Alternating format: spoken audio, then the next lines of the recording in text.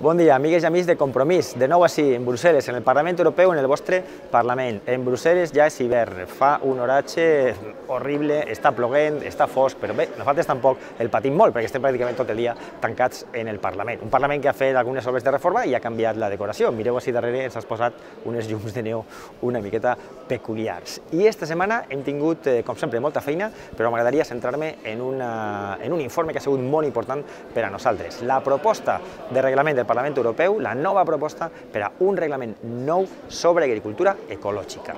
Un eh, informe que ha tingut la responsabilitat del nostre grup. El nostre company eh, alemany, Martin Hausling, ha sigut el responsable d'elaborar aquest informe eh, i mireu si la cosa ha sigut complicada, que ha tingut més de 2.000 esmenes. Estiguerem 3 hores votant sense parar, levantant les mans, apretant els botonets per a eh, concloure la proposta del Parlament.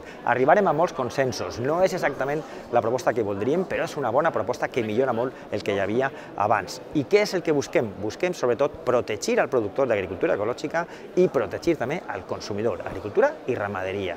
Volem que no n'hi hagi contaminació durant tot el procés, ja siga de conreu, ja siga de eh, cria dels aliments destinats a consum humà.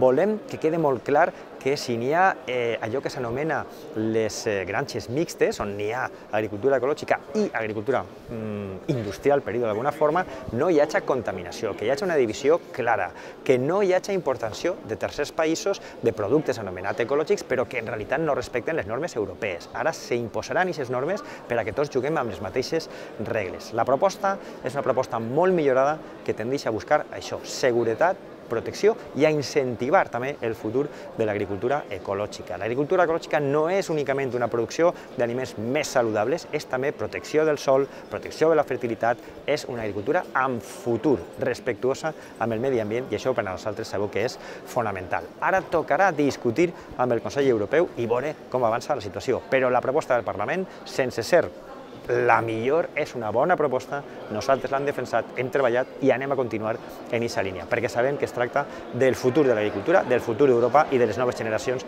que venen i que han d'estar alimentades i han d'estar alimentades de forma segura i saludable.